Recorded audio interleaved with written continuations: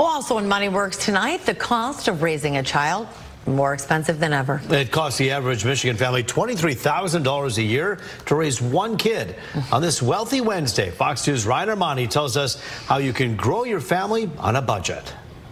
Raising a kid, it can be expensive. Let's talk about some of those costs with our good friend Michael Masserant from the Retirement Education Foundation, financial expert. And Michael, by the way, congratulations, new parent. How's it going? Thank you so much. It's going great. Uh, our daughter Berkley is almost a month old now. It has been a whirlwind of change and excitement, but a lot of fun. Absolutely, and a lot of costs associated with having that baby, not only uh, now but moving forward. Talk about some of the things that, that you are prepared preparing for and have prepared for? For sure. So as much fun as it is, there's also some responsibility, of course, that comes with this. So ideally preparing financially ahead of time to make sure we have a little emergency fund stockpiled from the baby gets here, and then also mapping out what will this cost us in the first six months, the first year, the next five years, to make sure we're not caught off guard financially. What are some of the big costs, uh, you know, besides housing? What, kind of should people think about? So up front, there's, you know, the, the doctor's cost, the hospital cost, things like that, you know, diapers and formula, all that fun stuff. But also, within you know the first couple of years, really the big cost is childcare. Mm. Childcare is expensive, and we need to make sure we have a plan for that. For some families, the, the, the answer is one parent stays home.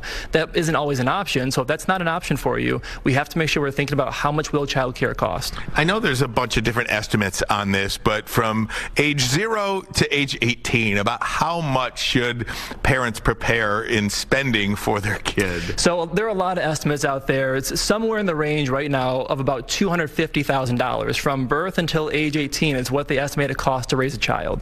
Now, of course, that can factor greatly depending on uh, where you're living in the country, what the, the quality of life is and everything, but it's going to cost a lot and it takes a lot of planning. It's never too early to start planning for college and, and people feel a different way maybe now than they did 20 years ago about college. Do I need to, to save for college or not? But just saving something, uh, that is a big deal, is it not? Saving something is a big deal, but we always want to make sure people aren't harming their own retirement savings to save for their children's college. Some people put the kibosh on their own retirement savings and stop saving for themselves because they want to start saving for their kids' college, which is very generous and admirable. But if you're if you're harming your own retirement savings, that can really bite you later on down the look down the road, and you might become dependent on the kids because of that, and no one's happy with that outcome. No doubt about that. Uh, but congratulations to you. We know you are very happy. Hopefully, you and your wife are getting uh, lots of sleep. I'm sure you Not are. Not so much, but we're trying.